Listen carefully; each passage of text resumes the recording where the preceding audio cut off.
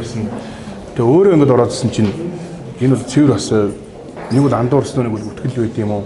Нэг бол заавал одоо артист намаас нэг хүн наах хэрэгтэй байсан юм уу сонгуульд гэж байгаа утгаараа тэгээд намайг одоо наас даваагийн Батбаяр гэдэг нэртэй бас гişүүн гэдэг бас бичээд байгаа гэсэн дээ.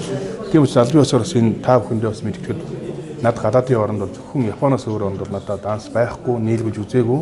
А тийм их мөнгөч надад байхгүй. Би төрөөс төрсөн тэр момтон биш.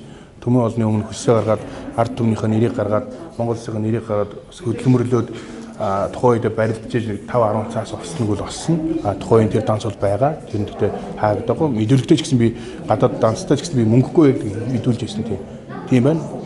Тэрнээс танд одоо хувьцаа аваад хөрөнгө оруулалт хийсэн зүйл байна. Байхгүй байхгүй ямар нэгэн хувьцаа хөрөнгө оруулалт хийсэн зүйл байхгүй. Монголдо бол мэдээж компанид Монголдо үйл ажиллагаа хувьцаат компани зөндөө байгаа.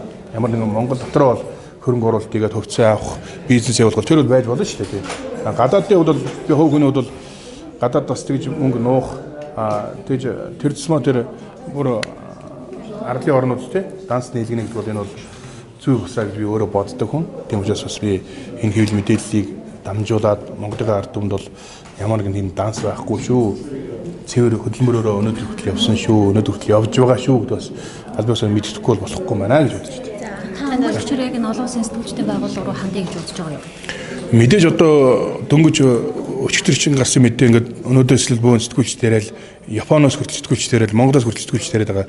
Тэгээ мэдээж энэ бол андуурл байхыг бас үгүйсэхгүй учраас харцагнаад цаашд бол хандна гэж байна.